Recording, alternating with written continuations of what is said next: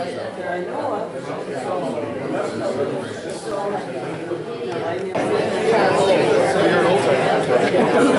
morning, everyone. I'm Joanne Britton, and I'm very happy to welcome you to our February Open Wednesday for the bucket class. Before we um, get started and I introduce our speaker, I'd like you to turn on your T-coils if that applies to you. And please um, silence your cell phones and just put them away so that you won't be distracted while we listen to our speaker. Today, we're very happy to welcome Fredo Rivera, who is Assistant Professor of Art History at Grinnell College, and he's going to talk to us about the architecture of Grinnell. Fredo. Thank you, Joanne, um, and thank you to the Grinnell Bucket Course Committee for inviting me, um, and particularly Judy Hunter. Um, when they asked me to teach the bucket course, they, of course, they said I could teach whatever I want, and I teach the Modern Architecture Survey at Grinnell, and I thought it'd be a great idea to sort of look at modern architecture through Grinnell. It's something we do in my classes. One of the first, the first assignment students have is to pick a building in town or on campus and to write about that building. And you'll see that they've somewhat inspired this um, lecture I'm doing today. Um, one of the things um, I want to focus on is comparing examples of architecture here to prominent examples globally. So things we look at within the canon of architectural history. Um, and um, just to start quickly, there is sort of a question of what constitutes modern architecture. Um, and there is sort of many thoughts. It's periodized differently in different fields within art history. Some will sort of begin with the early modern or the Renaissance. Um, and within architecture, that's particularly significant with the writer, with uh, the works of um, artists who, and architects and writers such as Alberti and Palladio, who then begin to influence architects in the 17th to 19th century. Um, but a lot of people begin the survey um, between the 18th and 19th century. And they're particularly thinking of two things. Um, this sort of moment of revolution that happens between France, Haiti, and the United States. So sort of this sort of going towards the birth of the modern nation and sort of the meaning of architecture within that. And then you also have the Enlightenment, so new discourses on science um, and new developments in technology. Um, but most surveys of architecture begin at the moment of industrialization, and I think for the context of Grinnell, that's particularly significant because this town is founded in many ways thanks to sort of a lot of the advancements of um, industrialization, and particularly the railroad, as we could sort of see in this image. And I just wanted to show these um, images really quickly, and these, um, this is a great graphic that shows um, the rates of travel within the United States and how trains really revolutionized both trade and communication within the context of the US. So here you could see, just to get from New York to Chicago back in 1800, it would have taken about six weeks. By 1830, it's reduced to three weeks, so you have the development of trains, but they're still slow and limited service. And by 1857, you can get there within a matter of days. Um, so trains really revolutionized um, the uh, development, particularly of the West in the United States, of urban sites, um, of sort of the creation of cities like Chicago and like Grinnell, um, which was very purposely founded at sort of a crossroads. So I'm going to begin with uh, the, my first example, um, and I'm going to do this as a series of comparisons. Um, and I want to begin with this comparison, which is the Union Depot in Grinnell, which you can see um, 1893, and we have a 1937 photograph of the building. And then I, um, below we have St. Pan um, Pancras Station in London. Um, and here we have particularly an image of the train shed, um, which is actually built out of wrought iron. Now, one of the important things in the 19th century is the development of different materials for architecture. You have wrought iron. Uh, another sort of very big important thing is cast iron. You have cast iron as early as the late 18th century. Um, there is one example in 1770 of the Iron Bridge in France, which is probably the earliest example of a cast iron structure. Um, for those who aren't familiar, the major difference between wrought iron and cast iron is um, um, they're both metal alloys, but in cast iron they're poured into molds, so you get identical um, um, sort of pieces. Um, whereas in wrought iron, it's sort of hammered out into shape. And so um, by the time St. Pancras is built, raw, cast iron becomes common. Probably the most prominent example is a building called the Crystal Palace in 1851 in London. and the Crystal Palace um, was uh, the main pavilion for the World um, Exposition in 1851 and was quite gargantuous in size and built within a period of three months. Um, so it was quite a significant sort of achievement of its time.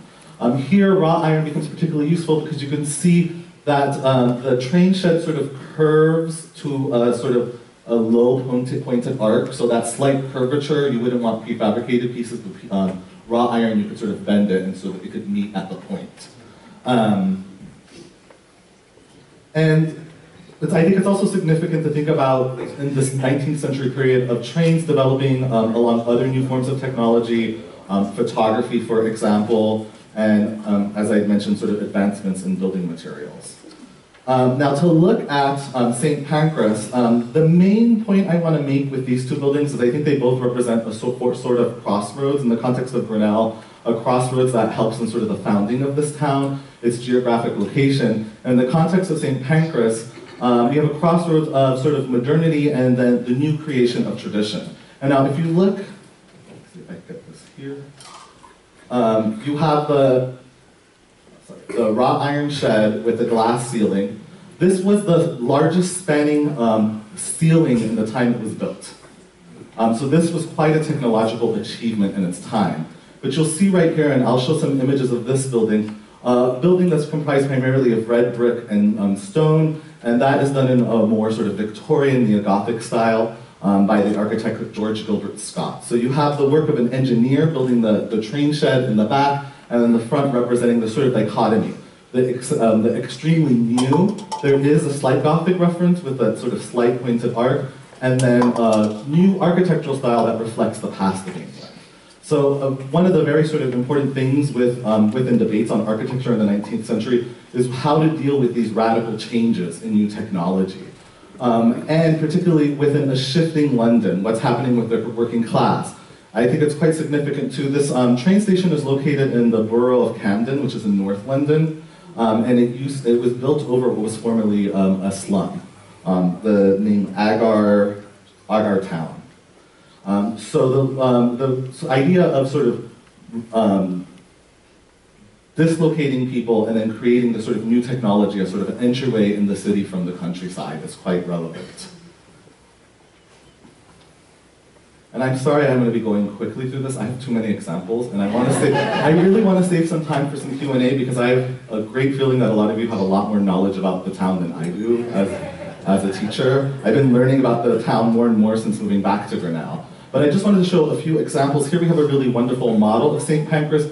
Um, when the station was built, they decided to build a, sort of a very significant hotel in front of it. And here you can get a sense of the sort of neo-Gothic style um, that was sort of advocated by George Gilbert Scott. Um, it's quite, um, I'd say it has a quite busy facade. In parts, there's symmetry, but there's also irregularity. So a lack of symmetry is often something that indicates the Gothic versus the neoclassical. Um, and just rich, really beautiful details that stand in great contrast to the use of um, iron and glass within the train shed. And here we have Grinnell. So, and speaking of Grinnell's crossroads, um, and particularly with thinking about industrial development, that becomes a very significant with the, context of Grinnell. And here you have several buildings. You have the old glove factory, um, which was um, formerly uh, ran by the company Morrison uh, McIntosh and Company, um, which produced um, gloves from goatskin and other forms of leather.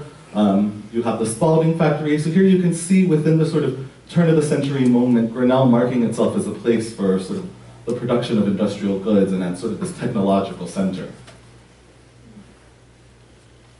And then here we have the quite um, beautiful and quaint train station today, the Depot Cross, the Pepper Tree at the Depot Crossing restaurant. Um, and one of my students, and I, am going to be quoting my students' papers because since they're required to write, I was looking back at their papers while preparing this lecture and figuring out how I could create a relationship with the survey. Um, but just a couple of things. This is quite a quaint, and it's not a large station, but I think architecturally it is making a statement, particularly with the tower that marks the corner near the intersection um, that it's quite voluminous. There is sort of this limestone breaking that I think for a squat two-story tower gives it this sort of illusion of greater height. So you, when you're coming into Grinnell, you will see this building. This, um, it's symbolic, sort of entering the town. You could think of it that way. It's interesting if anyone's going to the Pepper Tree at the Depot Crossing. Know some people are going for Valentine's. Um, to look at how they um, created the new part of the building. and how they tried to take in sort of the aesthetic of the past. Um, uh, to quote one of my students, this is James Lamont, he wrote in his paper, at the heart of Union's depot's functionality lay the distinct, the distinct themes, transit and sustenance. In the bygone era, the building welcomed travelers and then ushered them into town to find either physical or emotional connection. Today, the depot offers similar forms of emotional and physical care through food and gathering space. The architectural story of the depot is ultimately about the ways in which modern architecture can be flexible, incorporating modern additions within historic buildings to realize new functionalities. It's interesting to think about buildings in multiple ways. There's the process of building. Um, we're going to see in this lecture that I'm going to focus on singular architects. And one thing I always tell my students is architects are never alone in the drafts room. It's a team of people working on the building. Um, building is a process, whether it's in construction, the way building is appropriated over time. So a lot of the students, when looking at this historic building, became interested in how they existed throughout time, sort of the lives of buildings, you can say. Comparison number two. See, I warned you I'm going to go quickly through these. Um, here we have um, Goodnow Hall at Grinnell College. This is one of four buildings built after the 1882 tornado that swept through town and destroyed almost the entirety of campus. It is sadly one of the only four, what? It's one of the only four of the buildings that were built that still exist. This saddens me. Grinnell has a habit of destroying old architecturally significant buildings. We can talk about that later. and, um, and below I have the example by Henry Hobson Richardson, Trinity Church in Boston, um, which is um, probably the most famous example of the Richardsonian Romanesque style of architecture. It's a style of architecture that becomes popular in the United States following the Civil War. Um, when we teach the modern architecture survey, we're often comparing the context of the United States to Europe. In the context of Europe, architects are having a lot of debates on how to conserve and restore old buildings and what style means. In the United States, this is a generalization, but there is sort of a term used to apply to the sort of the turn of the century moment that's called eclecticism. Um, and that is, architects would build whatever the patrons desired. So if you wanted a neo-Gothic building, if you wanted a, a sort of Greek-style temple building, the architect would sort of adapt to that and sometimes create mixtures therein. And, and one of the sort of, and this is a generalization, and when I say Europe, most architectural historians are looking primarily at France and England, but a lot of the thinkers within France and England and the architects attach a certain moral value to the style of architecture. And that didn't exist so much in the US. What's interesting about the, and I will show an example here of Trinity Church in Boston. What's particularly interesting about um, Henry Hobson Richardson's architecture is it becomes immediately influential. It's representing this new moment in US history, um, and there's something very sturdy about these buildings, quite heavy, they're quite grounded. Um, and I think that is very significant when thinking about these buildings. Um, he, some would consider him the first architect in the US. I like to say Louis Sullivan, he's the father of American architecture. We'll look at Louis Sullivan. Um, but um, he uh, was an architect who trained in Paris at the École des Beaux-Arts. In the 19th century, the École des Beaux-Arts um, was an academy that became probably the most um, prominent architectural school in its time. And a lot of um, prominent American architects from the late 19th and early 20th century would go to Paris to train at the École des Beaux-Arts. They had sort of an unconventional educational system where you became first an apprentice, and then after a couple years you were admitted into the school, you could attend lectures, you had access to the library, and then you sort of entered competitions. And that's sort of how you sort of went through the academy. Um, so he comes back to the United States from the des Beaux-Arts, and he does an architectural style that is, I would say, eclectic. It's not merely Romanesque, um, and Romanesque is sort of the style that forms after the Roman Empire, so sort of um, early Christianity. Um, and Romanesque is often defined by broad archways, large round volumes um, that you could see within the structure, but you can also see arguably elements of the Gothic in this building. So you could see a slight mixture, though it feels more Romanesque than Gothic. And I just love to show the sort of sideways back staircase um, that it's a building that you can sort of explore in multiple ways. Um, and so this became sort of a very popular style in its time. It was seen as sort of uniquely American, um, though it was um, copying styles that emanated from um, Western and Southern Europe. And just here's the floor plan. And this floor plan, if I had more time, I would get into sort of how this how this very, very much mimics the Romanesque style, um, the development of the Roman basilica into the Christian church, and you begin to see that with it's quite broad and open, but you have sort of the open cross plan Um, so within the floor plan, you can read a very direct Romanesque influence. And that takes us to Goodnow. And I, I just love this comparison. Because you can see the similarity. Now, Goodnow was our original um, library at Grinnell. Um, it was um, named after Edward A. Goodnow, um, who was a well-known abolitionist and promoted uh, a reformer who promoted the public education for, um, for women. And he also donated $10,000 for this building to help build it at Grinnell. And it became, up until 1905, the library, until eventually Carnegie became the library. Um, and here you can see the original building. It's quite different today. It houses, houses the Department of Anthropology, but you can see sort of the large original reading room. The staircase, the staircase is still wonderful when you go in today. Um, and you also have the little observatory tower here. So it very much functioned as sort of the significant space for knowledge. And I think it's interesting that of all the new buildings at Grinnell, um, the library was the one that sort of took up this sort of more Romanesque style. We could read many things into that. And here are some um, photographs of the original interior of the building. Quite gorgeous woodwork as well within the building. Um, and I just like this because this also shows um, Chicago Hall. This is where the Bucksbaum building, the portion of it that was built by Skidmore, Owings, and Merrill is. Um, and further behind you'd have um, Blair Hall, um, which is a really great neo-Gothic building. That's the one I get most sad that was destroyed. I wish I had that on campus. When I teach Gothic architecture, I take my students to Herrick Chapel. It's a great example of perpendicular Gothic. Um, but here you can sort of get a sense of the original campus. And I'm going to quote another student of mine. Um, this is um, Jeremy Epstein, a current junior at Grinnell. And in his paper, he started to um, look at debates about restoration and conservation that were popular in the 19th century by two prominent um. One's the art critic John Ruskin, and the other's the, um, who's based in England, and the other's the architect of Viollet-le-Duc, who did a lot of restorations in France, probably most famously to Notre Dame in Paris.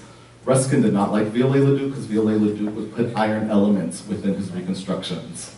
Um, and there are certain examples of cathedrals where he would put a cast iron ceiling on them. And Ruskin felt that you had to conserve buildings, that the, the aura of the building was dependent on this, the, the work of the laborers, their touching of the stone, the sort of decay of the building, there was a beauty to that to Ruskin. And that was lost in these renovations that created, I like to say, tell my students, some, when you look at some of the things Viollet-le-Duc touched, they feel more Disney-esque. They feel like brand new to their old buildings through the use of Fredo, materials. I, I can tell you that if you had been teaching art history at that time, you would have taught in the attic of Chicago Hall. Really? Did we have our history at that time? We did. oh, nice. Was Dick Cervene there? Edith Sternfeld taught that course. Ah. She gushed about every, every slide. I miss the old slides too, because they used to make a humming noise, they put you to sleep. now I have to really entertain the students. Um, so, um, and this is what Jeremy Epstein writes. While the building's renovation compromised its essential feature, it also permitted it to continue serving its noble purpose, albeit less elegantly than before. And perhaps it will continue to do so for a long time to come. In concluding some comments on the building, former Grinnell professor Walter Walker writes, quote, there is a good chance that the college will celebrate its bicentennial and its tricentennial with Goodnow at the center of the celebrations, end quote. Given, though, what we are on the brink of yet another massive modernist building project, perhaps Professor Walker's optimism that Goodnow will continue to hold relevance ought to be taken with a grain of salt. While the college may still recognize value in historic Goodnow Hall, it seems safe to say it recognizes far greater value in the modernist aesthetic, which has been creeping across campus. But then, this is how it has always been. At Grinnell, new architecture is always on the vanguard. Remember, the post-cyclone building spree, which yielded Goodnow. Critics on new, of the new style needn't despair. At an institution this progressive, it's never long before the aesthetic changes. So he's sort of getting into sort of what's the value of the history. I do think that's a current within Grinnell. One of the reasons it's great to teach modern architecture here is that we do have a lot of great modern architecture buildings because there is this investment both in the town and the college of, of the new. We could debate the value of Cesar Pelli later. to move on, oh, here's another great black and white photograph. And now to move on to our third comparison, and probably what's seen as sort of uh, an icon of Grinnell, definitely is the sort of city planning. We've sort of embraced um, Louis Sullivan's Merchants Bank um, as the sort of symbol of the town, uh, particularly sort of the front portico here. You have this almost keyhole-like entrance with this sort of beautiful sort of diamond-shaped design with the round rose window here, um, sort of the entrance into sort of the safety box. Um, we had um, last year a convocation by Blair Kamin, who is the um, architectural critic for the Chicago Tribune, and the very first piece of architectural criticism he wrote, his first job was at the Des Moines Register, was on this bank in Grinnell. Um, and he made sort of this very fascinating point, he called it like the jewel of Iowa. And this is back in the early 1980s, um, um, mid 19, early 1990s, I'm sorry, when he wrote this. Um, and it was really exciting to sort of talk to him about this, um, this building, um, which um, was one of um, 12 major jewel box banks that Louis Sullivan did towards the end of his career. Um, Louis Sullivan was not easy to work with and did not have a lot of commissions towards the end of his career. So he ended up traveling around the Midwest and particularly building um, banks that became particularly relevant for farmers um, when they would come in um, to do their loans for the harvest season. And I like to say he created a religious experience. I imagine a lot of you have walked into this building and it's, it's quite spectacular inside.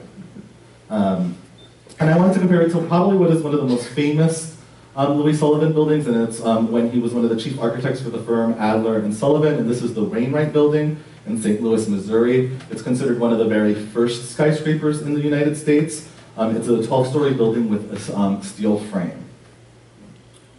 And it's a, an important precedent for thinking about what Louis Sullivan is doing later in his career with these sort of smaller banks.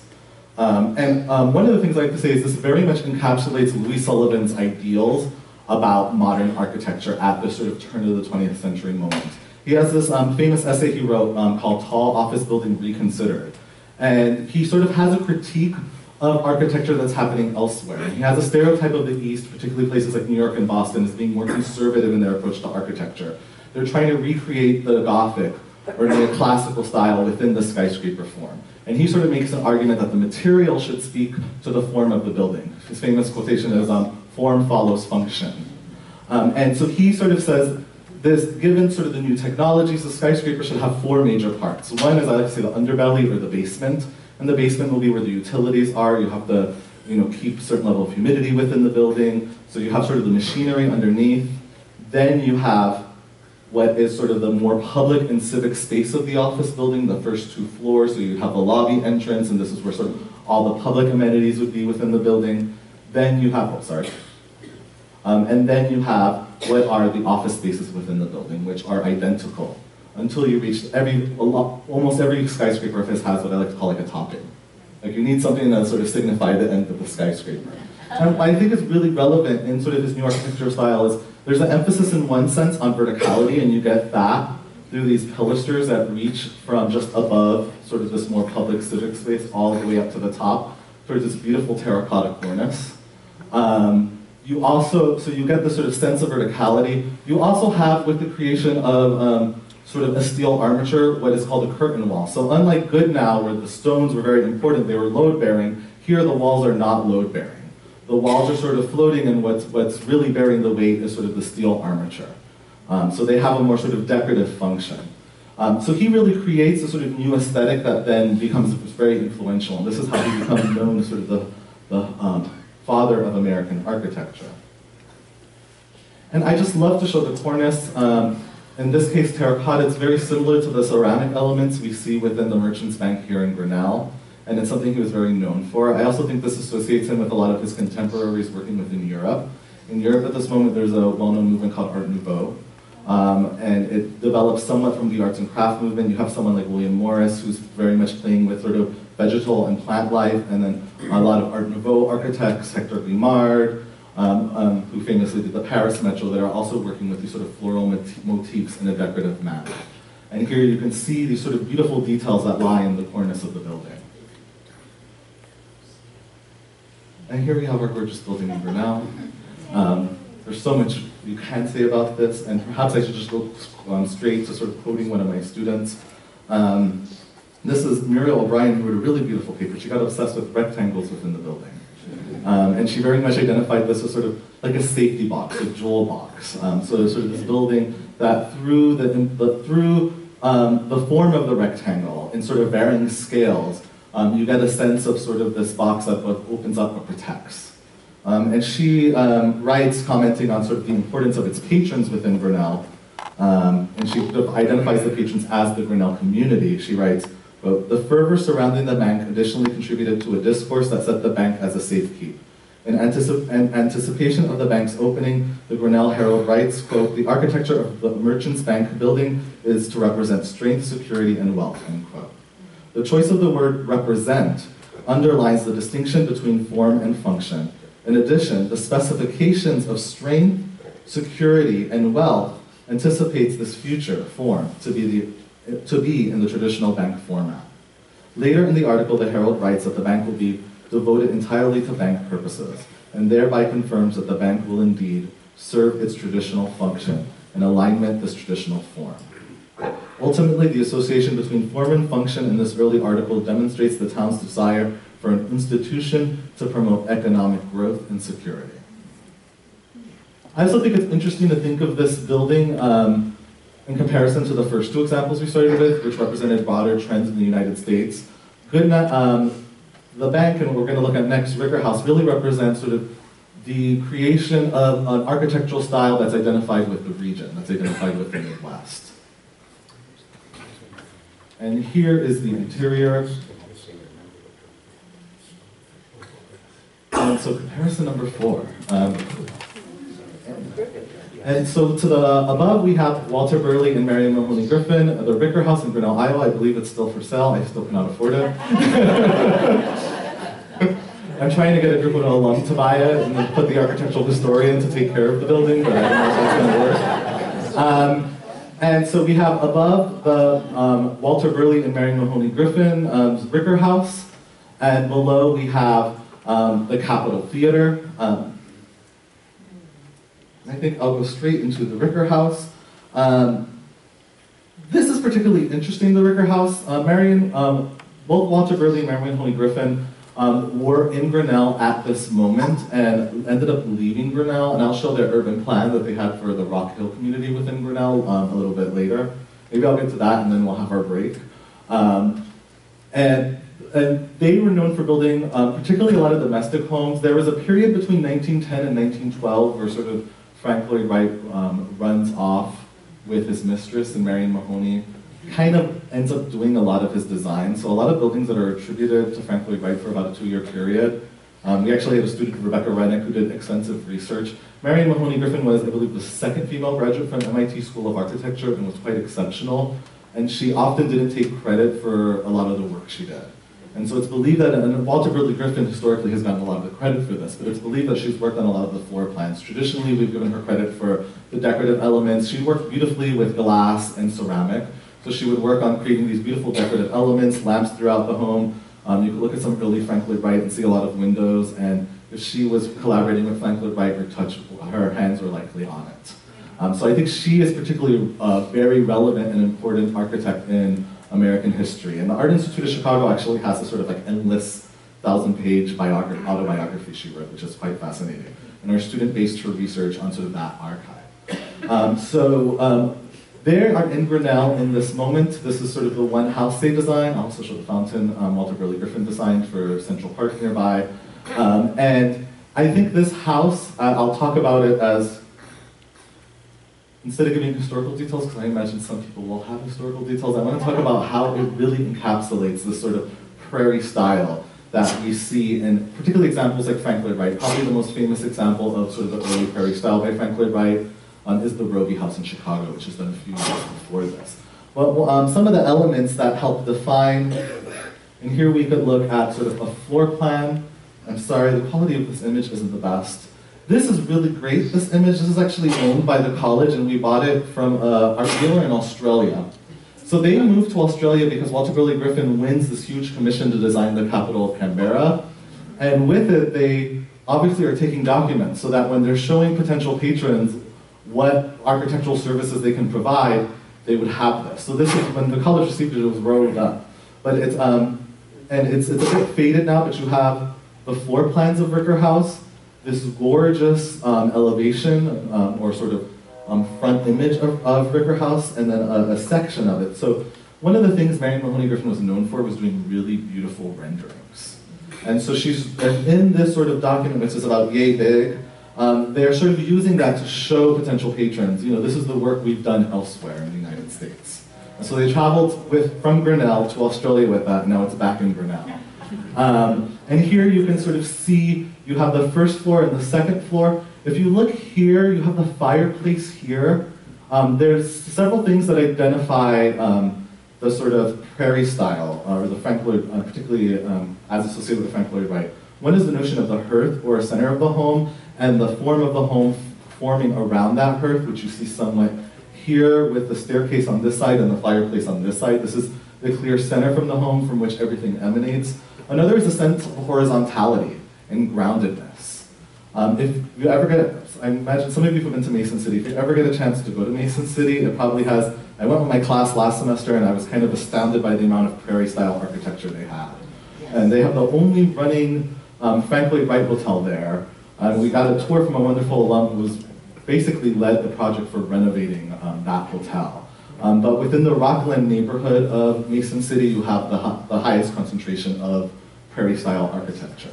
So you have the sort of the formation around a hearth, sort of this notion of horizontality, and then you have decorative elements throughout that connect the building. And this sort of is, um, I'm very interested in the way that the prairie style relates to other movements that are happening concurrently. So you have, you mentioned Art Nouveau, and there's definitely a relationship with Art Nouveau. And Art Nouveau, there's this notion of sort of the total work of art, so that the architect would work on furnishing, would work on every single element. So it wasn't like buying a prefabricated home and then going to IKEA and getting the furniture. And Frank Lloyd Wright was particularly anal retentive about this. If you, if Frank Lloyd Wright came into one of his homes that he designed for you and saw that you put your own furniture in, he would get really mad. And he built beautiful but really uncomfortable wooden furniture. Um, here you can see Again, um, one of the interesting things is that my student who worked on this, um, she, um, she particularly got interested in sort of the recent history of the building. Um, one of the things when they, when the house was sold, after it was sold to Grinnell College, they took down one of the sort of plaster walls and end up finding some beautiful colored ceramic work that they believe was done by Mary Mahony Griffin within the home. Um, so sometimes owners will buy homes and take away the most beautiful historic elements of it. And um, I just love to show this example. Now, this facade of this theater, this is the Capitol Theater in Melbourne, it's obviously conforming to its local urban context. So it appears like quite a sort of a regular facade, but you can see these elements that might suggest it's um, a little more prairie style, and that particularly shows up in these windows here, these sort of details. You'll see these in a lot of prairie style homes.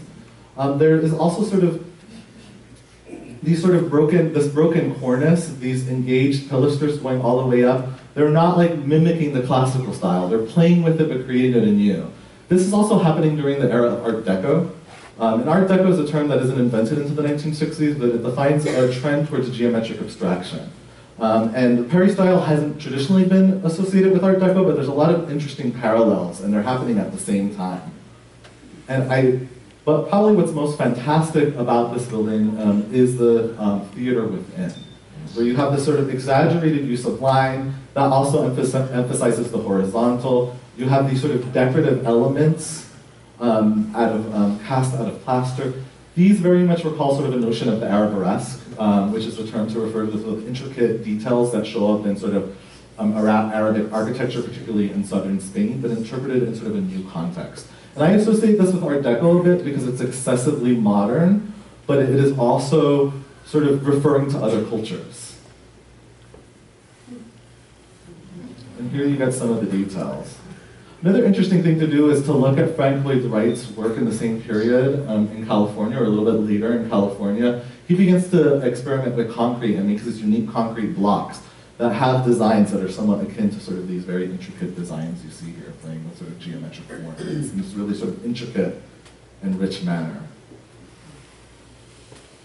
And we will break after this one, but I just love showing this. Um, this is their plan for the Grinnell um, Hillside subdivision. um, that was done between 1911 and 12. This obviously was never built, but we could have been like the Mason City of Iowa, I like to imagine, if this was built. Um, and here, um, and this sort of exists sort of where Manor Circle, over by where the golf course is. This, I believe this is where this was sort of intended for. Um, and this shows one of many examples of urban plans that were never built. Um, and then below you have the reason they left Grinnell, which was to help design this capital here. Here we have the um, capital um, of Australia, Canberra, um, done in this sort of very radial plan, uh, defined by concentric circles. Um, the um, expansion of, a, um, of the lake into sort of these basins. And particularly what you see in this map is it's very much connected to what's called the City Beautiful, which is, uh, sorry, an idea that's developed by the architect and landscape designer Frederick Law Olmsted at the turn of the century in the US. And he's responsible for building um, a lot of great first ring suburbs, particularly in the eastern part of the United States. Um, and his influence is most seen in sort of Central Park. And it's this idea to incorporate greenways and parkways into sort of urban design. Um, and you see that very much here with these sort of a variety of greenways. You also have sort of a sense of strict zoning here. So here you have the market center, the civic center, the residential suburb, the capital following with sort of all of the government buildings therein. So it's this very sort of planned modernist city. Um, and just to look a little bit more closely at the example of, of Grinnell, it's interesting to look at this within a sort of the creation of a modern capital versus the creation of a community within a small town that has a very distinct urban core. I think that's one of the things that makes teaching architecture interesting at Grinnell. We are a small town, but there is something urban and pedestrian about our core, our center. Um, and here you have something that's a more of a suburban layout. You can get with these lines a sense of sort of the undulating topography and sort of the, how the way the streets are sort of corresponding to that. Here you have a roundabout that's sort of connecting throughout. So it's suburban but not cookie cutter, that's what I like to say. And just to show sort of another significant design, I believe it's at the bottom of a lake somewhere in Grinnell, I've been told. I don't know if this is true. Um, but here you have the um, memorial, the Clark Memorial Fountain in Grinnell. There is a great model of it inside the Merchants Bank in downtown Grinnell that you can sort of check out. Um, but this just shows a lot of the sort of play with design and geometric form. You almost have this sort of suggestion of a cross form within this design.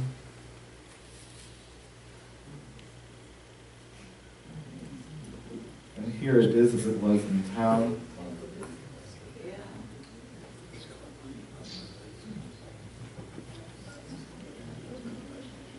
And I, uh, we, we need a break in three minutes, but before I sort of go on to what will become the modern era, well, maybe I'll save Q&A, we'll, I'll go through the modern era a bit quickly. But I, I also want to show these. These are really, really, really great images by Mary Mahony Griffin. Um, these, these are watercolors she would do. So she is imagining, within Canberra you have um, a topography where you could be up on a hill overlooking the city. So she is, as her husband is creating the urban plan, she is creating these sort of beautiful perspectives where you could look at the city from afar. Now, after they go to, um, after they live in Australia for um, well over a decade, um, Walter Burley Griffin ends up getting huge commissions in Lucknow in India. And they end up going to India. There's very few of their designs that were completed. Walter Burley Griffin dies shortly thereafter, and Mary Mahony moves back to the Midwest and resides in Chicago for the rest of her life. Um, but she, in this time period between, I think, Australia and India, very much um, refines her ability as a, a, a renderer and an artist, and really does beautiful work, particularly experimenting. Um, in the India ones, you almost see this sort of like rich gold color that sort of aligns her sort of various renderings. So here you get a sense, it's like she's doing an elevation of the entire city as it would be seen with sort of these prominent buildings that would be sort of atop. And I will leave us for a 10 minute break and then we'll go into the modern era Thank you, everyone, for taking your seats. I'm sure we're all very anxious to hear what else Fredo has in store for us. So let's give our attention back to Fredo. Thank you. I'm conveniently getting through this quickly because I do want to spend maybe 15, 20 minutes on Q&A, so I only have two more comparisons. Um, one that'll take us into the mid-20th century and one that'll take us to the contemporary. Um, so we are doing a whole survey of architecture today. Um, and so we have comparison number six here. Um, and here we have two buildings by um, Skidmore, Owings, and Merrill, I'll just refer to as SOM as they're popularly known. SOM is um, probably one of the most important architectural firms that develops in the mid 20th century, um, particularly with sort of this sort of notion of sort of a high modern architecture. Um, in the United States, um, you have the promotion um, in between World War I and II of what's called the international style. There's a famous exhibition in MoMA in the 1940s um, that's done by curator Alfred Hitchcock um, that begins to create a survey of what's happening in modern architecture in Europe and then in the United States. Um, and he very much promotes the sort of idea of an architecture that embraces new material, that there's just sort of this move away from what we saw in the 19th century, which was sort of a replication of styles of the past. And you get the styles that, here you get to see um, facades with glass surfaces, um, with the emphasis of steel, sometimes you have white walls, um, so you begin to see the sort of new style of architecture. And by the post-World War II period, um, it develops at sort of a much more grandiose scale. Um, and here we have two buildings that are associated with one of the lead architects of um, SOM, Walter Netsch, who um, designed, um, helped design three buildings at Grinnell. One's no longer here, the PEC, we're not that sad about that. I hate to say that. Usually I'm mad when buildings are destroyed, the PEC I was okay with. Um, you have the Burling Library, and then what is one of my favorite buildings at Grinnell, the Forum, um, which was built um, by where the old Union was, which was a wooden building. Um, and very, very much became the sort of symbol of modernism within the campus of Grinnell College. And then below we have what is probably one of the most iconic SOM buildings, um, and this is the US Air Force Academy. It was built in a period of over a decade, um, and it is quite massive in scale. Um, it's, to give you a clue, it's at a very high elevation within Colorado. It's, um, it says Colorado Springs, it's just outside of Colorado Springs. Um, it's a 3,000 acre academy, so much larger than Grinnell. Um, it contains housing for 8,000 people, a hospital, a supply center, and um, an academic complex. And probably the most um, spectacular building is the Cadet Chapel, which you can see, oh, which you can see sort of right here. Um, so this very much becomes sort of an icon of sort of the style that SOM is promoting. It's sort of what I like, um, what some scholars would call sort of a techno-utopia. Um, all campuses are, I like to say, a form of utopia. Um, a sort of experiment of a unique society. Residential liberal arts college is very much emblematic of that. And here you have the creation of sort of a military academy. That's really representing um, the use of, um, of new technologies and materials in this very exaggerated way. Um, I like to say you have these sort of tetrahedral structures within the cathedral, within the chapel, the cadet chapel, and we'll look at those more closely, that almost feel like they're soaring up. That almost recall, and this is the Air Academy, that sort of recall this idea of flight in a building. Um, and I have just a couple models here to give you sort of a greater clue of the campus, and then perhaps we could think about how some of the academic buildings relates to sort of a smaller scale campus center like the Forum. But you can see everything is sort of based on sort of an orthogonal grid within the sort of mountainous landscape. Um, and you have these sort of courtyards within the building. The one building that kind of breaks sort of the, the quadrangle or the sort of grid-based design of this building is the really um, fantastic cadet chapel that you see here within the model. So this is a model from 1955, so this is early in its construction. The buildings were done, obviously, in sort of over different periods of time. And I just really love this model because it gives you a better clue, um, both of um, what you have is sort of what functions as sort of a campus center here, and then the really fantastic chapel. Now, one of the challenges with this chapel is it had to serve three distinct religious groups. It had a Protestant meeting space, a Catholic meeting space, and a Jewish meeting space. Because uh, it was um, getting students from all of these faiths and then more. Um, so one of the influences of the design was not to make any specific religious references in the design, rather it's very much celebrating um, this idea of new technology, of soaring through space. There's a certain sense of height you get with this building that is then sort of emphasized within the interior of the building. Um, and here you could see what I was talking about with these sort of like tet- um, tetrahedral structures that are broken up by these panes of glass that bring light in quite beautifully, that create the sort of sense of soaring, the sense of air coming in. This is the sort of um, main meeting space for the Protestants, which was the largest meeting space within um, the chapel. And I should have brought a floor plan of the chapel now that I think about it. But I also wanted to show one of the, the academic complexes. Um, it's just interesting looking at this. Um, it almost looks like a cybernetic grid, though it's not yet in that time. You can see sort of how new technologies are even beginning to influence floor plans um, within designs. Um, and this becomes particularly something prevalent with SOM with some of their future commissions in the 1960s and 70s. Uh, and here, um, this sort of highlights the various sort of functions within the building. And that takes us to Grinnell College. Um, and I got this photograph from Artstor, and I kind of was like, oh, this is from my time. I think that's Graham Miller and Dave Rader. it's weird going to Artstor and seeing your friends in there. I don't know who uploaded this photo to Artstor. Um, but here we have um, the example of the Forum, which is very much built as a campus center. Um, one of the really amazing things about this building is its emphasis on material, and there's a certain rawness to the material. Um, you have a movement that forms, um, it begins in the 1950s and it becomes most prevalent in the 70s called Brutalism.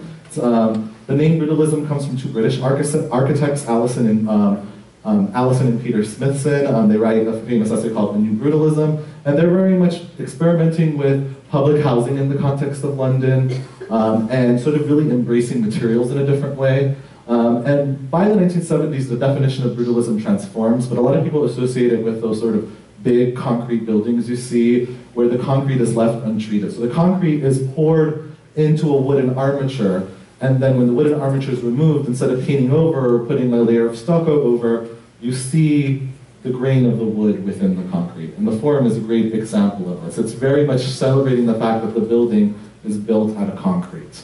Um, you also have these sort of dark um, glass panes and then just beautiful woodwork within. Um, I think Walter Netsch was very sort of careful about thinking about how these materials related to each other um, for being what are sort of the basic elements of construction. Also, just another side note, the old Bertoia lounge chairs, which are mysteriously missing. There's a lot of conspiracy theories of where they went. They're quite valuable, those chairs, actually. They're by a designer, um, Harry, Bertoia, Harry Bertoia. Um, and then what was the most prominent about the forum is you used to have the grill in the center and then the two lounges. And the lounges very much formed these sort of meeting spaces within campus, um, much like the Joe Rosenfield Center does today. Um, and there was a certain warmness and coziness, like you were in this almost like this glass room.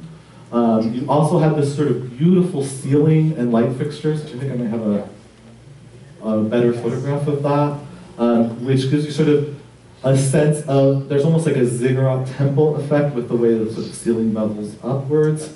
Um, and even the pattern of the woodwork, the direction it's moving in, it, the building using very simple materials creates a lot of visual interest, while also creating a space that's quite warm inside.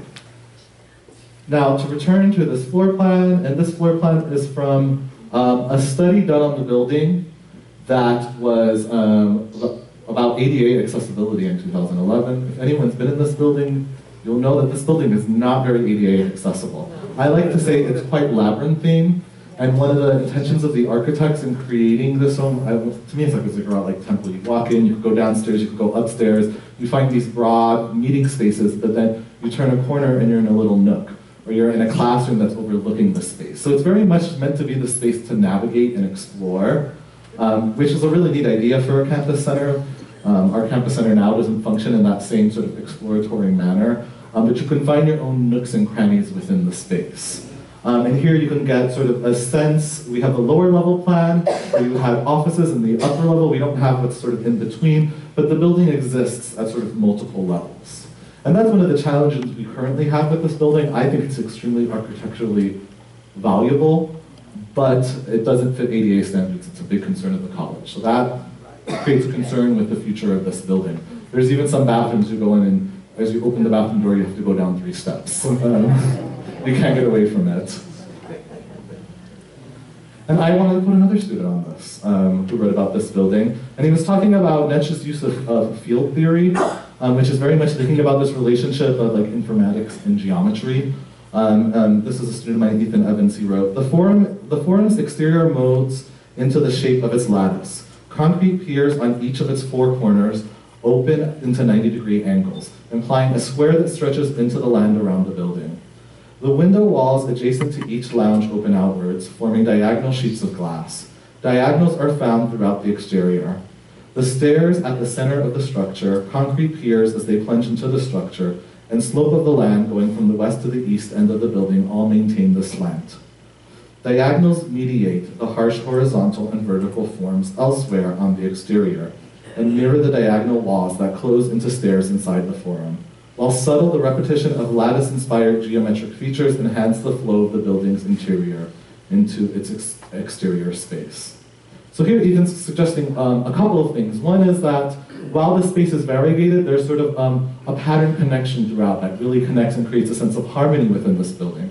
I think another thing that's quite significant and something important to consider throughout all the examples I've shown is the siting is quite significant where this building is placed on campus and how this building relates to the landscape around it. That this, you can see this as imposing, it's a concrete and glass structure, but there's something very subtle about the way this building relates to the landscape around it. So it's using strict geometric patterns.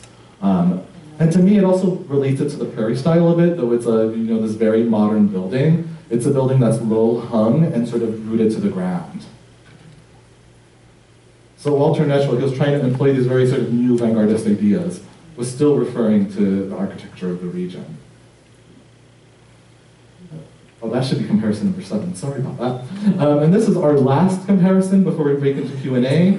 Um, and this is Cesar Pelli. Cesar Pelli has also done three buildings on campus like SOM. Um, most recently, um, the, uh, Bear Gym, was that before or after the JRC? That's fading my memory now. I want to say the bear. After. Phase one opened before the JRC though. And phase two opened after. That's why it was confusing me. So you have a concurrent, uh, in one time period, um, uh, you have both the Joe Rosenfield Center and you have um, the creation of um, the new gym in Grinnell, which replaced the old PEC. And then you also have the Bucksbaum Center for the Arts, which is around 1997. Um, are sort of the major commissions that Cesar Pelli gets within Grinnell. Um, now, Cesar Pelli, as an architect, um, I like to say he is one of the ultimate corporate architects. Um, he is very well known in the field. Um, and so Grinnell was obviously for its latest and newest buildings trying to get new commissions. In the case of the Bucksbaum Center for the Arts, um, that building, a core of that building is originally an SOM building, and then Cesar Pelli built around that sort of core and to sort of enhance and build from there. So I'm in the, in my building, I'm in the old SOM core. I'm, I'm very proud to be in that sort of part of the building. like this is a Walter Netsch building, not a Cesar Pelli building. um, and one of the things um, that I think is sort of significant about um, the hiring of Cesar Pelli, it kind of re reflects the sort of trend in contemporary architecture to move to the star architect, which is historically, you could relate that to, to some extent to Louis Sullivan coming to Grinnell um, and to um, Walter Netsch coming to Grinnell. Um, and there is also sort of this interesting, very contemporary play with style and geometry. And I think that's what really relates these two buildings that look extremely different from each other. Um, so below we have um, probably what is one of his most famous commissions, which is the Petronas Towers of Kuala Lumpur, which for a few years was the tallest building in the world. Um, it's a set of twin towers in the capital of commercial towers in the capital of Kuala Lumpur with this very sort of convenient and neat sort of connecting walkway. And I just wanted to show a, a floor plan. Uh, this is a sample of one of the floors in the building. And then this is sort of a model of the building. And what you get is, within one building, given sort of the rich diversity of a country like Malaysia, um, Cesar Pelli is an architect uh, um, of Argentine origin. His office is based in New York, but he's coming into this foreign context and trying to pay homage, design-wise, to the culture with which he's working. So within this design, um, you can see the influence of Buddhist designs, Buddhist temples, mandalas. Um, you can see the influence of Islamic design, particularly with the geometric form. I mentioned the Arabesque earlier. Um, and also sort of the influence of US skyscraper style architecture, really global style, I shouldn't say US. Um, and really playing with that to create a building that's playing with new technologies but referring to the past in sort of a creative, inventive way through geometric form. And I think that very much relates to his buildings in Grinnell, where he's sort of playing with geometric form and materials in a really interesting way. Which takes us nicely um, to our campus center here. Um, and here you can see what I mean with the playing of form and with materials that refer to the local place. This building sometimes confuses me because there's a lot of nautical references and I don't know where they belong in Grinnell. We started with trains and we somehow ended up with undulating windows and portholes and I'm like, where's the river? Or are we swimming in, in Arbor Lake? I don't know what's happening. Why is there a well room here? So it confuses me a little bit. But there are many local references within. Um, for one, you have the extensive use of red brick, of Iowa limestone. So material that both refers to our place, where we are locally, um, but also material that refers to the history of the campus, the use of red brick. And I think Bucksbaum is a great example of that. He really plays with brick in an inventive way in um, the Bucksbaum Center for the Arts.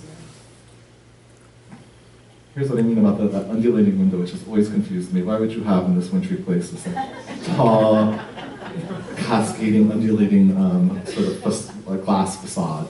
Um, but there is something very sort of, there's something from building what was formerly the tallest building in the world to building a building like this, there's something very sort of flashy and engaging about this work. Um, one of the things I recommend is if you're ever going into the Joe Rosenfield Center, um, is to look at the vents. The vents in that building are done with this sort of detailed woodwork that's quite beautiful. Some of them are falling apart a little bit, and I imagine they're hell of expensive because they're not these sort of prefabricated vents, they're specially designed ones. But one of the things he works as, as an architect, is taking material and playing with it in a sort of very rich way. And, and in Bucksbaum, you see that with his playing of corkboard, or the floor of the Faulconer Gallery, in which they're taking plywood and cutting it against the grain, which is a very expensive and arduous process to then create the floor. So he's playing with material in unconventional ways to create not just um, engaging geometries that help define how you sort of navigate through the space, but um, material surfaces that are just visually fascinating and interesting. And I'm gonna, I want to break into Q&A, but I want to read one last quotation from a student of mine before I do that. Um, and this is by um, Lori Benedict, and she was writing actually in the Bucksbaum Center for the Arts. I've had no student lines write about this building yet. Um, and she wrote, the architect's combination of modern and classical materials and styles, often in direct juxtaposition, lends itself to a dynamic and rhythmic design. Cesar Pelli utilizes drastic sharp corners, contrasted with sweeping cur- curvilinear lines, layered and interconnected sections of the building read like a cubist painting.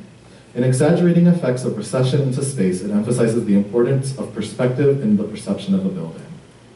And I used to have a bias against Cesar Pelli, and then when I read this paper, I was like, oh, okay, I get it. See, this is the great thing about teaching, you learn from your students, and sometimes, as an architectural historian, I just have bi- like, biases, and, I, and it's nice to see buildings through fresh eyes.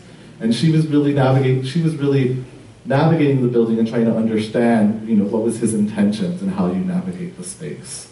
Um, and I think she captured it very beautifully in this paper. Um, and I will, I just now open it up to Q&A. I have a question about, you said that the idea, the concept of brutalist has changed.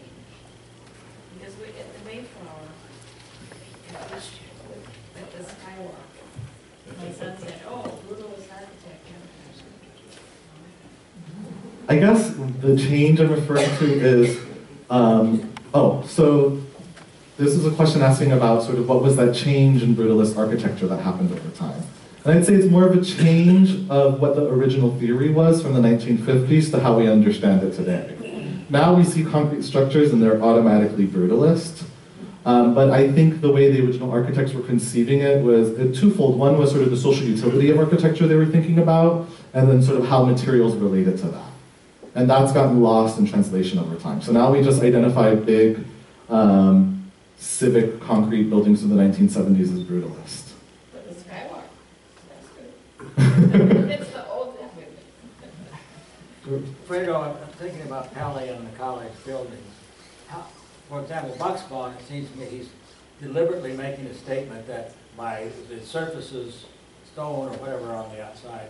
There's a different function in here. The art studios are different from the music area, from the black box. And you're supposed to be able to read the building from the outside, I, I think, it's, what it's trying to do. But it isn't common to put as many different materials into a single building as he does. And, and does to, to a degree in, in in Rosenfield. Yeah, no, it's, it's a really interesting, and I think it's a little bit more successful. In, oh, so this is a question about materials um, in Cesar Pelli's buildings, particularly in Bucksbaum, because um, one of the things George mentioned is that often um, the materials relate to the sort of the function within. So from the outside, you could see this this differentiation of spaces. Um, and I think that's very true. It's a bit feels more deliberate in the context of Bucksbaum than it does in the JRC. Um, you do have spaces within the JRC where the material identifies, and, and we're looking at one right there with the whale room. Uh, this is a separate space within the dining hall. You also have the, the fireplace space within the, which has this like, it almost looks like a black volcanic rock that's sort of within. Um, that is very much differentiating itself from the rest of the building. He is playing with that and throughout the JRC, but it's not as clearly distinct as Bucksbaum. And I think it's interesting too to think about what the building from the exterior is trying to impress upon the viewer and what's in the interior. It's kind of the opposite of what we saw with the St. Pancras train station, where like the shed did not match what was in front of it. Here, the idea is the exterior should match the interior, but at the same time, there's a critique of Bucksbaum that's quite interesting, is that it kind of closes itself off to the town. That you have this sort of sunken um, entrance when you're coming into campus, and it like naturally leads you to it, but it's almost as if it's turning its back, um, formally speaking, to the town. Um, even though it was sort of meant to be sort of that extension into town. Do you think he wanted to cancel SOM? from the- I- He obviously surrounding the SOM building, so you don't see a whole lot of it left, uh, from, first- particularly from the campus angle, or is he being, think he's, or is he being sensitive to SOM? So this is a question if he's being sensitive or sort of canceling out the SOM building. I'm going to give the architect the benefit of the doubt. and actually, you know, when you when you first approach the building, it's hard to tell that they're two different buildings. And the SOM building, um, there's that use of the gray brick where all the sort of classrooms and offices are, and then there's the use of the darker brick where the Roberts Theater is. And so I already think SOM is playing with these different bricks, and then he's taking it to the next level. So to me, it complements it in an interesting way. Um, it does take emphasis away in that he's creating a new central space and lobby with the rotunda. Um, and then the studio is further removed from that. So there is this variegation of space, but I think it works actually quite nicely um, with the SOM um, space. I, I quite like Bucksbaum, but that's maybe because I've become accustomed to it. yes. Uh, This is a form of a a, a statement, but a form of a question. Um, With the Bucksbaum, there was an existing structure that he was asked to add on to. But with the, gr- Joseph Rosenfield, he was asked to create a new one, but, and I was here on campus when that was evolving, I wasn't before. But with that one, well, there was an attempt to reproduce existing spaces from North Campus and South Campus. I guess my point is that the, the consumer plays some role with the architect that affects the final product. And so, you know, I, it- it's not that just you simply give an architect a flat palette and say, create something. They have certain constraints. I, it's such a sort of It- so it's so that to compare the two, yeah, but he, his approach to each one of them had to be different because of the restrictions or the demands or the preferences or whatever to the person or the people who are guiding the initial discussion. That's, This is a question slash comment um, that is particularly about, I guess, the desires of the patron and what the community is demanding from the architect has an impact on what is built. And I think I think you're absolutely correct there. That what is being commissioned in the context of Bucksbaum is very different than what is being commissioned in the context of the JRC. And he's responding to those college needs. Um, and doing so in the best way he can. Because part of, part of the particularly the JRC, was having a huge amount of square footage, almost like 200,000 square feet, of meeting spaces, of dining hall, of a large dining hall to encompass the entirety of campus. So really working around, and, and it goes back to sort of form follows function with Louis Sullivan. The architect is going to correspond to sort of what they're being asked of, which goes with you see throughout history. So I, I think that's very true. I also think it's interesting because the JRC thinking about Bucksbaum sort of incorporating a former building and expanding from it. JRC also represented the destruction of a significant building on campus, um, um, the um, Darby Gym, which is a late Art Deco building. I want to say from like 1941, if I'm correct. Forty, yeah, forty-one, forty-two, yeah. Um, and I always get sad about that because, it, first of all, it had a unique wooden truss ceiling, and it was probably the only major example of Art Deco on campus. And I am obsessed with Art Deco. I'm doing a new project on Art Deco, and I feel like there's there's some examples in town, or there's some buildings that have an Art Deco influence, like the Masonic Temple. Um, you could say it has an Art Deco influence, also has a neoclassical influence, but that was just an architectural gem on campus that we lost. Um, so, yes.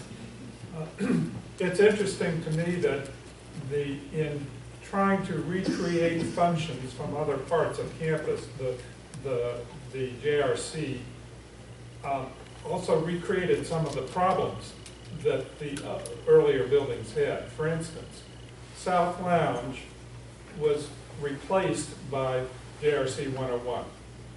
South Lounge was a great space, but there were problems when you, when you had a meeting in there because uh, the person would stand up against a wall of glass and all you ever saw was the, the, the, the lighting was poor and all you ever saw was the, the sort of silhouette of the speaker.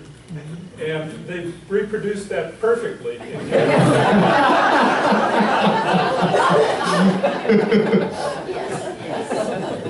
So this, this is, um, what is um, commenting on is that um, in replicating former spaces on campus, they've made the same mistakes in those former spaces, with the example of uh, particularly 101, the main meeting space, having the same, I like to say it's like a fishbowl effect when I'm sitting and watching a lecture in JRC 101.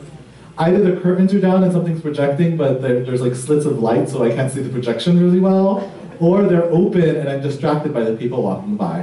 What makes the JRC a little more annoying to me is that it's not the dark tinted glass, so it's like you could see very clearly what's outside, and it can be very distracting at times. Um, I also think there's an interesting, I call it, and this is me being very critical here, admittedly, I call it the Walmartization of campuses. There was this idea in the 2000s that, and you, you see it throughout colleges and universities in the US, an urban planning firm comes in, tells them, oh, you need to centralize everything, everything's inefficient, and then, and a lot of colleges and universities built campus centers around this time by prominent architects. It had to be the prominent statement building of your campus, it's part of campus development. And what I've noticed coming back, so when I was a student, you'd have to go here to get your mail, you'd have to go here to get coffee, you'd have to go here. So people wondered and interacted in campus more. And now I like to see people get sucked into a center, and then they disperse from it. So it, it, it impacts the way you negotiate a space and understand and relate to us, uh, and relate to others within a space. So to me, they're, they're, I could sometimes get nostalgic, and I think that's inevitably what happens with modern architecture. There's always this nostalgia for how things were different in the past before these new, bigger things came. Yeah, George. A comment just following Ken's, of the opposite effect. Uh, When some of us in this room were students at Grinnell, the theater was in ARH, at the lower level where one one or two were. Very small, a very confined stage, there's only one entrance to the stage from one side. Really small and constricted. So what do they do? They build Roberts Theater as the antidote. Way too big stage.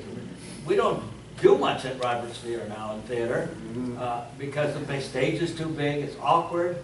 Uh, the shape of the, of the space is wrong for projecting your voice and so on, but they went at absolutely the other direction. We're not gonna have a small stage, we're gonna have a big one. Yes, yes. Yeah, so scale, I think, is something that's very significant, particularly within a small town and a small campus.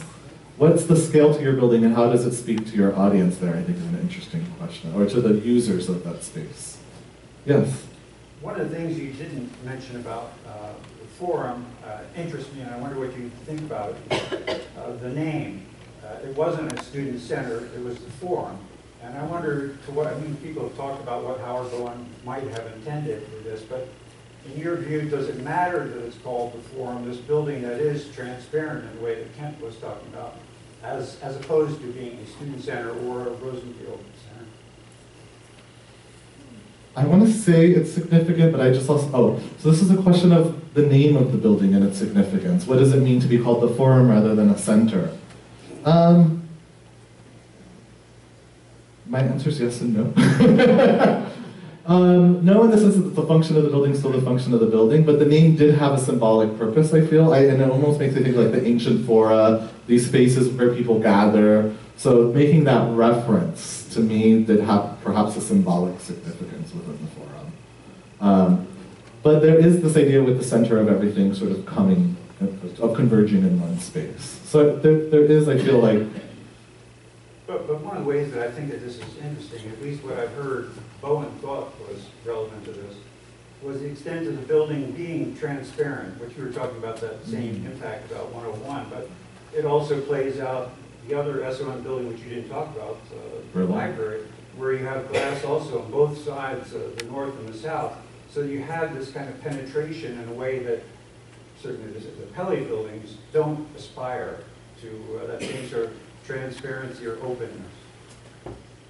That's a great point. Um, and so it was a comment about um, the certain notion of transparency that's evident in the materials of both um, the example of Burling Library and the example of the Forum versus that of Cesar Pelli where there's no longer a concern. And I think that's where we're getting into a very smart, critical reading about how architecture may reflect values in an interesting way.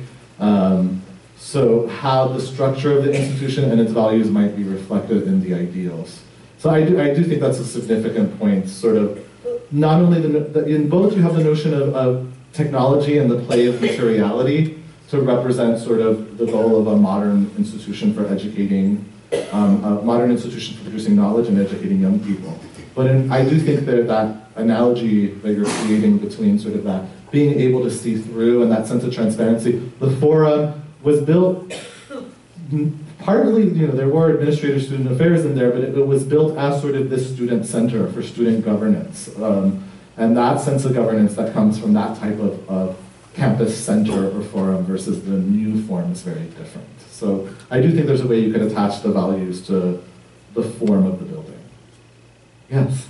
Uh, The one building you haven't mentioned was the John Chrystal building. Uh, I heard that it was absolutely, it- it's very pretty, but when you want to have computers working, it was a bad story. And then I keep looking at the front with all this stained glass, and I never see anybody sitting around in, in that building. Maybe I just go at the wrong time, but I think it's a waste. I'm, I'm very interested in the future of this building too. because um, I used, when I was a student, I worked in the admissions office, and I used to work Saturday mornings at the front desk. I was the first face a lot of parents saw, which is kind of scary. but and and so at first I was kind of shocked because I remember admissions moving from Mears into that building. I'm like, this is a brand new building. Why are we building a new admissions office? But when I saw the floor plan of the new admissions office that's currently in construction, it made so much sense to me. The kitchen is now behind the front desk, so you don't have to go down two levels to get like coffee and cookies when you need to like replenish um, the supplies for the, the visitors. Um, so it's it was a building that I think had all the good intentions. Like it was open, it was glass, it was intended as sort of a marker so that when you came by, you could distinguish campus from town. You have entered the campus to see the, you know, the Chrystal Center. Um, it also made a lot of local references. It used Iowa limestone, for example. Um, it, it's an aesthetically interesting building, but there were some failures to that building that didn't make it functional in the way that it should be. And, and was also some ADA issues with that building, which is kind of funky for a building from 2002 to have issues with accessibility, especially in a place like Grinnell. Um, so part of me feels the necessity to preserve the building, A, because it's a very young building, so I think it's silly for the college to invest so much money in a building and then like not know what to do with it. But they're gonna have to think creatively, because the way the sun shines into that building, it can be quite distracting. Oh, yes. Um, just to follow up to Karen's question, this whale room, I've, I've been in JRC many times, but I've never seen that. And is it, I mean, what's the value of this huge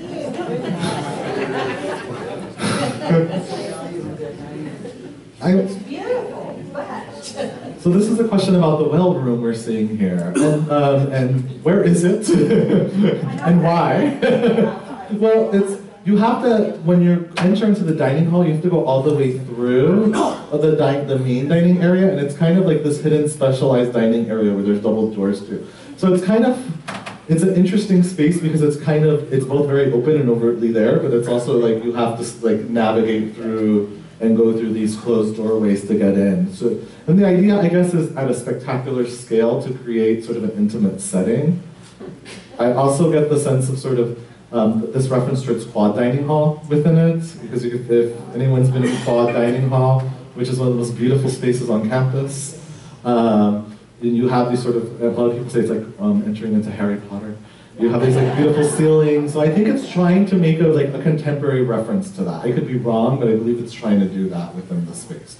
So trying to create that sort of same sense of awe, but in an entirely contemporary way. Yes. When you go visit some college campuses, the architecture on campus seems to be the same in all the buildings. And some people I've heard criticize Grinnell for having a hodgepodge of various architectural designs.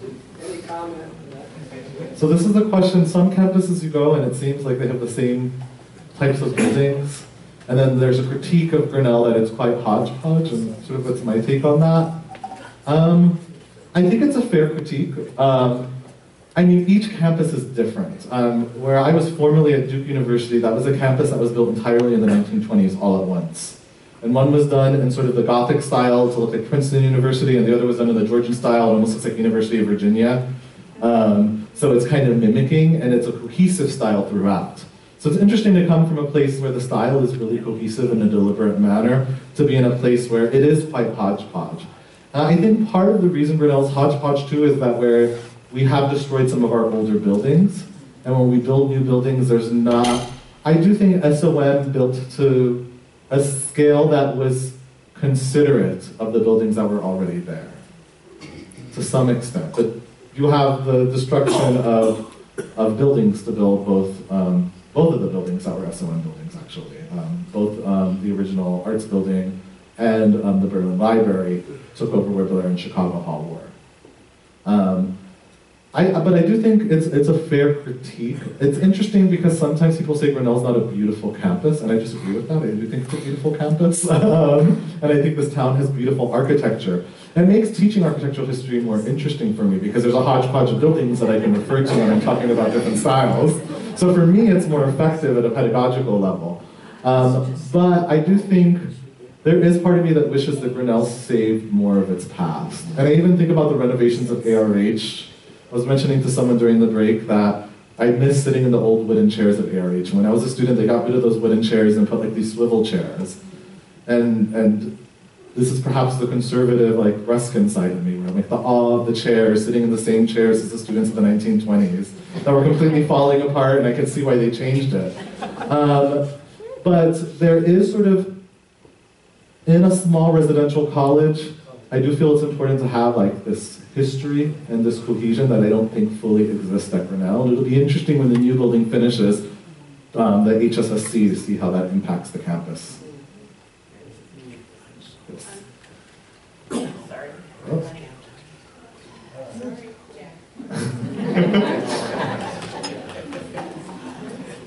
Well, it was a pleasure. Let's get into a big round of applause.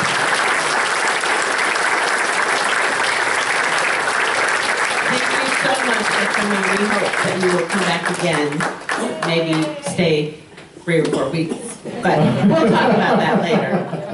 Uh, Before um, I dismiss you, I just want to remind you that starting next week, uh, Professor Eric McIntyre will begin his four-week um, course on music, of course, more than meets the ear. So come back, and if you would like to, if you haven't registered yet and you would like to do that before you leave, see one of us at the table out front, we'll take your name to make sure that you get a space. Jack? They like to see this again, on YouTube. This class will be on YouTube tomorrow, so you can tune in and see it again. So remember now to um, turn on your cell phones and turn off your T coils, and we hope to see you next week. Thanks for coming.